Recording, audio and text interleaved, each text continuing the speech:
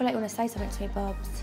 Um, obviously, I've heard that you have told people I wasn't remorseful when we spoke, and that I, I was stood there trying to cry, but I couldn't get the tears out. I was crying with us, Aim. I was in bits. Um, I didn't actually see a tear, Bob. How can I be crying but you didn't see a tear? That makes no no, sense. listen, it's like listen. saying it's raining but you didn't get No. wet. Do you genuinely think that I didn't stand there and I meant every every word I said and every tear I cried, Aim? I don't know. Oh. I was actually really naughty in school and I feel like I didn't really learn much.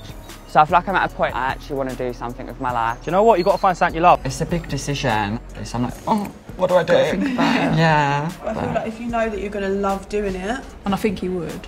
and I think you would definitely, Yeah. then you definitely need to pursue it. Don't cry. Don't cry because I'll cry. Sorry, I don't know what to say. I'm just a bit shocked. Do you know why we're going back to the theme park tomorrow? to break a world record. Yeah, but do you know actually why we're going back?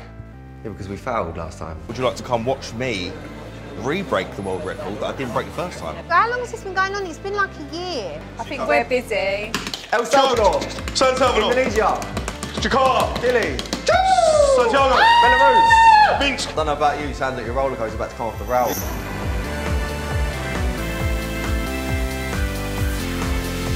Mr. Benowith, I wish you the best of luck. Well, come on! Go! Austria, Vienna! Peru, Lima! Vietnam. Hanoi! Did I do it? I apparently said that I can still be messaging other people even though I'm with Danny. I wasn't saying that comment to try and get him in trouble with Danny. The only reason why I said it was to teach him a bloody lesson. Hmm. Don't mess my friend up because I'll mess you up. I don't care for what she has to say. I just think it's a sly movement. Why are you going to come for my new relationship? There's a lot of haters in Essex. Who's hating you? He's at war with the girls, isn't he? I do feel hurt and I do feel very off about it, I can't lie.